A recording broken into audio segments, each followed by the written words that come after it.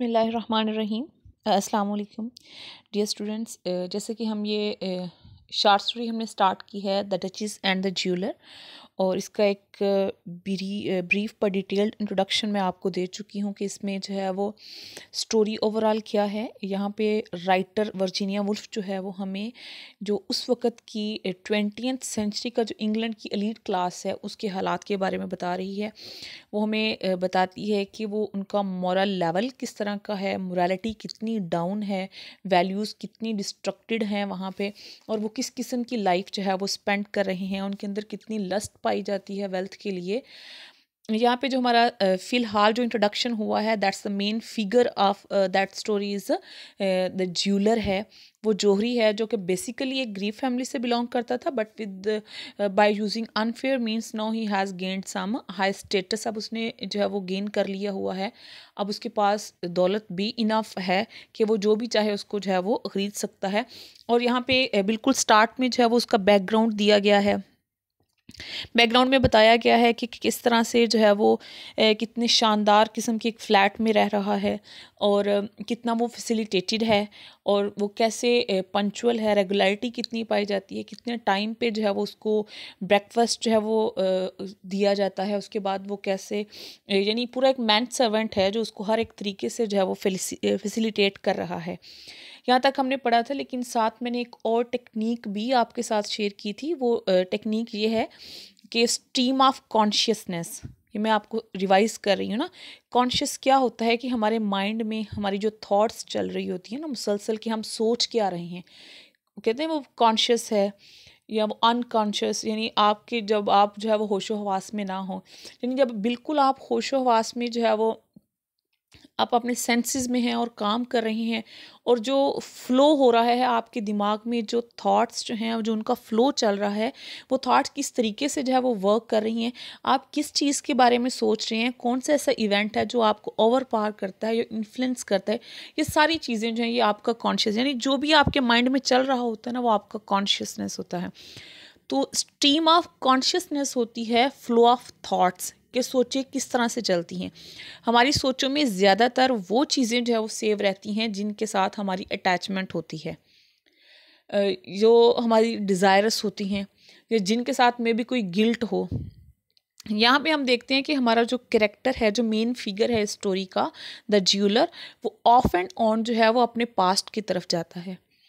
Past अपने उस past को जो है वो याद करता है कि when he use to do some something wrong कि वो उसको बार बार वो याद कर रहा है। इससे हम गेस कर सकते हैं कि हो सकते हैं वो किसी प्रिकिंग उसको हो रही हो, उसका ज़मीर उसको मलामत करता हो, या maybe he is feeling himself misfit in all the surroundings उसमें वो फिट नहीं आ रहा है, और उसने वो सारी मीन्स हर किस्म के ज़रा इस्तेमाल करके वो स्टेटस तो गेन कर लिया है, लेकिन सेटिस्फेक्शन का लेवल नहीं है वो।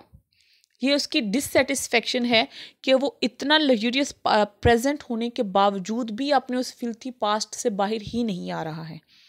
यानी ये वो पॉइंट्स हैं जो आपने इन सारी लाइंस को टेक्स्ट को पढ़ते हुए जो है वो अपने माइंड में रखना है।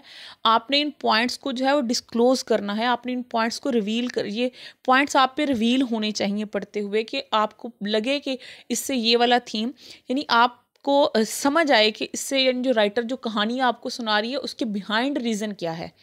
उस कहानी में कौन सा थीम है, कौन सी अहम बात है जो वो आप तक कन्वे करना चाहती है? उसने डायरेक्ट आपको कोई थीम नहीं निकाल के दिए, लेकिन उसने एक पूरी स्टोरी आपके सामने रख दी है कि अब आप इस पे सोचें इससे क्या क्या जो है वो हो सकता है। अगर कोई आदमी इस तरह से बिहेव कर रहा है, अगर कोई भी इंसान इस तरह से सोच रहा है तो आखिर उसके बिहाइंड रीज़न क्या है? वो क्यों ऐसे सोच रहा है? इसमें जो ऑफ़ एंड ऑन वो अपने पास्ट के बारे में सोच रहा है तो इसमें ऑब्वियसली हम कह सकते हैं कि ही इज़ नॉट सेटिस्फाइड कि उसका जो प्रेजेंट है, दो कि वो बहुत ही फैसिलिटेटेड है, उसके पास बहुत वेल्थ है, हर किस्म की फैसिलिटी है, हर एक तरीके से वो इंजॉय कर सकता है but even then he doesn't have this comfort in his own mind वो जो एक सुकून जो एक प्लेयर चाहिए ना, वो सारी दौलत मिला के भी जो है, वो सारे हीरे जवाहरात, उसको वो खुशी जो है, वो तस्कीन फ्राहम नहीं कर रहे हैं। Okay no let's short story हमने डार्क एले तक पढ़ा था, अब इससे आगे पढ़ते हैं। He had once thought that the height of his ambition he had once thought एक दफ़ा वो सो, उसने सोचा the height of his ambition कि उसका जो अज़म था एक होती है, आपके डिज़ाइन एम्बिशियस होता है, जिसमें आप बहुत पुरज़म होते हैं किसी भी चीज़ को पाने के लिए, जिसमें आप अच्छे या बुरे की परवाह नहीं करते हैं। जब आप एम्बिशियस हो जाते हैं ना किसी भी चीज़ को गेन करने के लिए तो फिर आप अच्छाई या बुराई का लेवल नहीं देखते कि आप कौन सा तरीक़ाकार अख्तियार कर रहे हैं। तो एक वो याद करते हैं अपने पास्ट में कि एक वो टाइम था कि जब मैं बहुत ज़्यादा एम्बिशियस हुआ करता था, जब मैं बहुत ज़्यादा पुरज़म हुआ करता था दौलत को हासिल करने के लिए। तो फिर उस दौलत को हासिल करने के लिए कौन से तरीक़ेकार इस्तेमाल किया करता था? Okay selling stolen dogs to fashionable women in Whitechapel कि वो वाइट चेपल के इलाके में जो है, जो फैशनेबल ख़वातीन हुआ करती थी, कैसे उनको डॉग्स चुरा के जो है वो बेचा करता था। And once he had been done और एक दफ़ा तो वो बिल्कुल तबाह हो गया। ओह Oliver his mother had wailed उसकी माँ ने जो है वो मातम करना शुरू कर दिया, रोना चिल्लाना शुरू कर दिया कि तुमने ये क्या कर दिया है। ओह, Oliver when will you have sense my son तुम्हें कब अकल आएगी मेरे बेटे? Then he had gone behind a counter फिर उसके बाद जो है वो किसी काउंटर के पीछे चला गया। मीन उसने कोई एक जॉब करनी शुरू कर दी। काउंटर के बिहाइंड जाना। अगर इसको जो है वो, यानी अगर आप इसकी मीनिंग देखें हिडन मीनिंग तो वो ये है कि कोई जॉब शुरू कर देना। फेयर तरीके से कमाना। हैड सोल्ड चीप वॉचेस फिर वो वहाँ पे खड़ा होकर किसी भी दुकान में जो है वो सस्ती किस्म की या घटिया किस्म की घड़ियाँ बेचा करता था। Then he had taken a wallet to Amsterdam फिर एक दफ़ा वो वहाँ से वॉलेट चुरा के जो है वो एम्स्टरडम ले गया।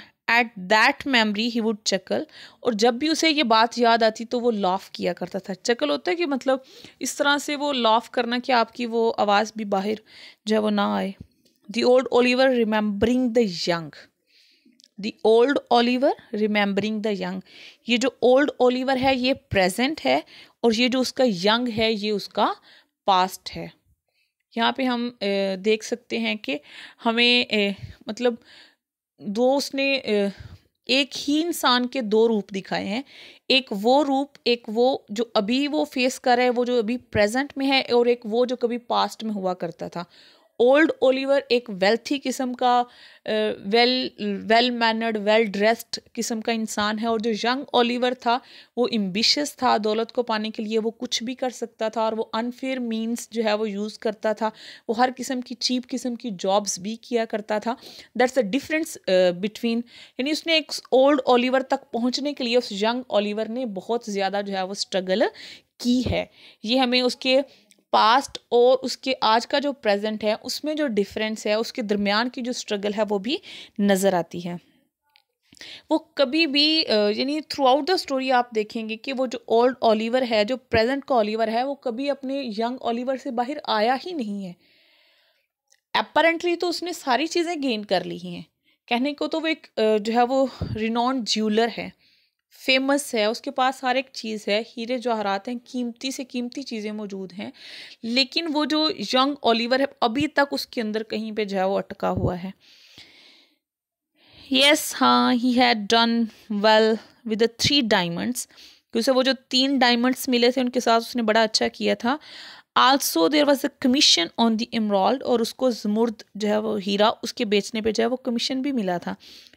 आफ्टर दैट इसके बाद he went into the private room behind the shop in Hatton Garden इसके बाद फिर उसने हैटन गार्डन गार्डन में किसी एक दुकान के जो है वो प्राइवेट रूम में बैठ के जो है वो किसी ज़ाती कमरे में बैठ के काम करना शुरू कर दिया the room with the scales और ये वो रूम था जहाँ पे सारे तराजू पड़े हुए होते थे यानी वो प्राइवेट रूम जो प्रेशस रूम हुआ करता था जहाँ पे सारी कीमती चीज़ें पड़ी होती थी उसमें सेफ़ थी तजोरियाँ थी। द थिक मैग्नीफाइंग ग्लासेस और जो वो कीमती किस्म के बड़े अहम से जो है, वो शीशे होते हैं चेक करने के लिए, वो थे। एंड देन और फिर एंड देन और तब ही चकल्ड यानी वो अपनी स्ट्रगल को याद करते हैं कि उसने स्टार्ट कहाँ से लिया, कि कैसे जो है वो डॉग्स लेके वो बेचा करता था, और फिर आहिस्ता आहिस्ता जो है वो उसने किस तरह से आगे की तरफ़ जो है वो मूव करना शुरू कर दिया।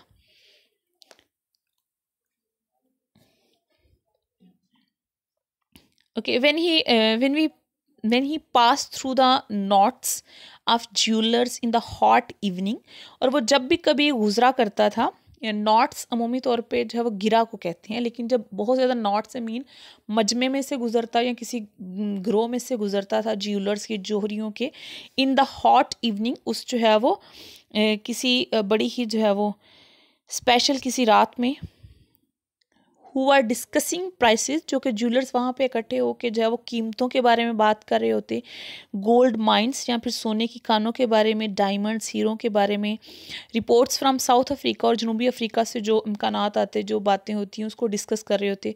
One of them would lay a finger to the side of his nose in murmur और उन सारे जोहरियों में से कोई एक जो है वो, ए, उसकी जो है वो नोज़ पे फिंगर रखता और ऐसे हल्की सी सरगोशी करता। हम्म। यानी ये एक बिल्कुल एक साइन देता एज ही पास जैसे ही वहाँ से गुजरता। It was no more than a moment और उसका ये जो साइन था, ये सिर्फ़ एक जेस्टर था, एक हरकत थी, इसके अलावा कुछ भी नहीं था। नो मोर देन अ नच और ये बिल्कुल ऐसे ही था जैसे नचिंग करना होता है, कोहनी से किसी को जो है वो ऐसे इशारा करना, मारना, इस तरह से। ऑन द शोल्डर उसकी कंधे के ऊपर। A finger on the garden a finger on the nose यानी उसके नाक पे से हल्के से जो है वो टच करना a buzz that ran through the cluster of jewellers in Hatton Garden और ये एक ऐसी बर्स बर्स होता है, बिल्कुल हल्की सी सरसराहट अगर आपने मोबाइल फ़ोन जो है वो वाइब्रेशन पे लगाया हो तो दैट यू पीपल में से दैट के your mobile phone is buzzing कि वो बिल्कुल बज रहा हो, बल्कि हल्की सी जो है उससे सराहट उससे जो है वो पैदा हो। दैट ट्रेन थ्रू ये एक ऐसी सरसराहट होती थी that ran through the cluster of jeweller कि वो जो पूरा सारा हजूम खड़ा हुआ होता था ना जोहरियों का, वो उन सब में से जो है वो गुजरती थी इन हैटन गार्डन के मुकाम पे ऑन अ हॉट आफ्टरनून वो जो गर्म जो सपहर होती थी वहाँ पे, oh many years ago no. अब तो ये बहुत सालों पहले की बात है but still Oliver felt it purring down his spike लेकिन अभी तक ओलिवर इस चीज़ को महसूस करता था कि it purring down his spike कि उसकी छड़ी जो है वो कैसे आहिस्ता आहिस्ता नीचे की तरफ़ जो है वो आ रही है। अपने जो है वो असाब पे इसकी सिरसराहट को, यानी इस बस को, या ये फीलिंग या ये जेस्टर्स को वो अभी तक जो है वो फील कर सकता था। द नज उस कोहनी को, उस इशारे को, द मर्मर, वो जो सरगोशी होती थी दैट मेंट और इसका मतलब क्या था? यानी इट वाज अ टाइम के जोहरी जो है वो कहा करते थे, बड़े रश्क के साथ कि देखो वो जो है वो ओलिवर है। Look at him young Oliver कि इसको देखो ये नौजवान ओलिवर द यंग ज्वेलर ये नौजवान जोहरी हियर ही गोज वहाँ वो जा रहा है। यंग ही वाज दैन और उस वक़्त वो बिल्कुल नौजवान था। And he dressed better and better और फिर वक़्त के साथ साथ उसने बेहतर से बेहतर तर लिबास पहनना शुरू कर दिया। And had first a handsome cab पहले उसके पास बड़ी एक प्यारी सी जो है वो छोटी गाड़ी हुआ करती थी देन कार फिर उसने एक बड़ी गाड़ी ली and first he went up to the dress circle और फिर पहली बार जो है वो वहाँ पे किसी थिएटर की गैलरी में चला गया। Then down into the stalls फिर आहिस्ता आहिस्ता उसने वो नीचे जो है वो दो सीटों वाले कमरे तक पहुँच गया। And he had a villa at Richmond और उसके पास एक पूरी, एक हवेली भी थी रिचमंड में। ओवर लुकिंग द रिवर जहाँ से खड़ा होकर वो दरिया को देख सकता था with trellis of red roses और जहाँ पे जो है वो फ्रेम लगे हुए थे और जिसके जो फ्रेम थे वो सुरख गुलाबों से बनाए गए थे। And madam is all use to pick one every morning and stick it on in his buttonhole और मैडम मिजॉल जो एक मुख्तरमा थी, एक मोज़ लेडी थी, वो उनकी आदत थी कि वहाँ से एक फूल उतार के हमेशा इसके जो है वो बटन के सुराख में जो है वो लगा दिया करती थी। ये उसकी थ्रू आउट जर्नी है कि उसने स्टार्ट कहाँ से लिया, फिर आहिस्ता आहिस्ता किस तरह से जो है वो स्ट्रगल करते हुए वो कहाँ तक पहुँच गया और अब वो किस जो है वो स्टेज पे है। अभी इसको जो प्रेजेंट है, वो बहुत ही ग्लैमरस किस्म का है और वो बहुत ही अपारेंटली देखने में वो बड़ा ही ग्लैमरस बड़ा ही फैशनेबल किस्म का एक जो है वो जेंटलमैन है। लेकिन इनवर्टली अगर हम उसको सर्च करते हैं तो वो बड़ा ही सैड या ग्लूमी कह सकते हैं, या एक डिससेटिस्फाइड पर्सन की लाइफ जो गुजारा है। यानी अभी तक उसके पास कोई कंपनी नहीं है he doesn't have any family या मे बी ये ये ज़िंदगी के लॉसेस हैं जिनसे वो जो है वो आज तक बाहर नहीं आ पाया। उसने दौलत तो गेन कर ली है, लेकिन जो ट्रू प्लेयर्स ऑफ़ लाइफ हैं वो उसको गेन करने में जो है वो नाकाम रहा है।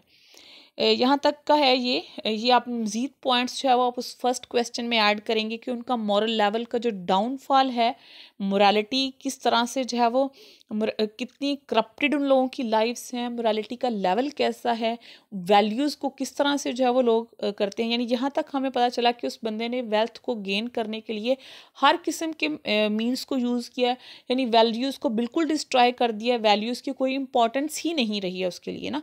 उसका एम्बिशन एक ही था to be a wealthy person तो इसको गेन करने के लिए उसने जिस तरह के ट्रिक्स वो यूज़ कर सकता था, उसने हर तरह के जो है वो ट्रिक्स यूज़ किए स्टिल अभी तक जो है वो हम एक ही फिगर के बारे में पढ़ रहे हैं, दूसरे किसी भी करेक्टर को जो है वो इंट्रोड्यूस नहीं करवाया गया है। तो यहीं तक आप फ़र्स्ट क्वेश्चन के जो है वो कुछ पॉइंट्स करेंगे। ओके होप्स हो कि आप जो है वो इसको अच्छे तरीके से सीख भी रहे होंगे और घर में इस पर जो है वो वर्क भी करेंगे। ओके सी यू इंशाल्लाह tomorrow with the other lecture